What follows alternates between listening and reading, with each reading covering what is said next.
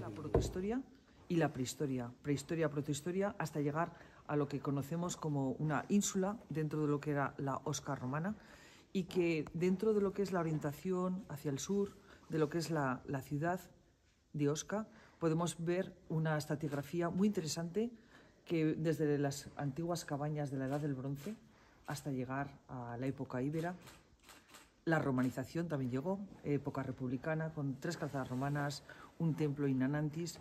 Tenemos también además una, villa romana y tenemos también secuencias de lo que es el, la época islámica y la cristiana medieval.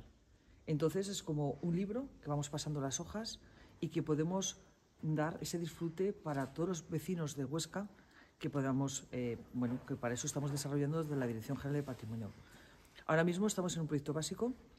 Eh, ese proyecto básico lo que vamos a hacer es la adecuación de, de, lo que es el, concretamente el edificio, bueno, el, el, local que se adquirió el Gobierno de Aragón para poder eh, ventilar lo que sería esta, esta zona arqueológica que sufre bastantes humedades y también nosotros vamos a hacer un espacio accesible.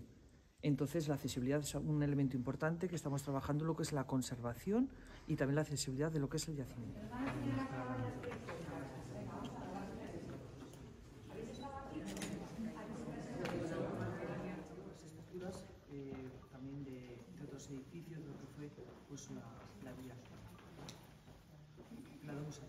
Para que este yacimiento sea visitable, no solamente a los orcenses, sino también a todos los aragoneses y al resto de turistas que vienen a Huesca y que van a seguir viniendo a Huesca y a los que les vamos a poder eh, explicar la belleza de nuestra ciudad y también la importancia histórica que, tenemos aquí.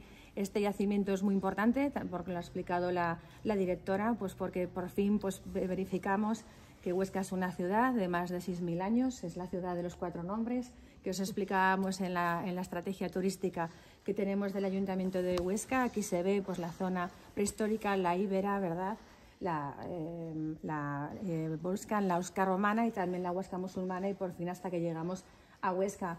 Eh, que no queremos parar aquí. Desde el Ayuntamiento de Huesca agradecemos al Gobierno de Aragón su colaboración porque esto es propiedad suya, pero tenemos más solares y más eh, yacimientos arqueológicos en la ciudad que merecen especial interés y que estamos pues intentando acceder a ellos para ver eh, qué patrimonio tenemos, qué es lo que nos queda, qué es lo que podemos preservar.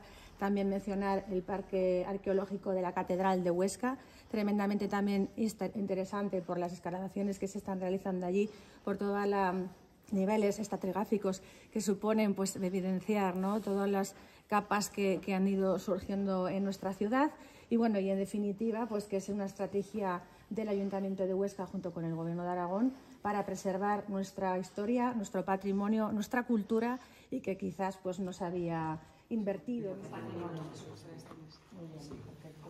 Muy bien, muy bien. Muy buena noticia.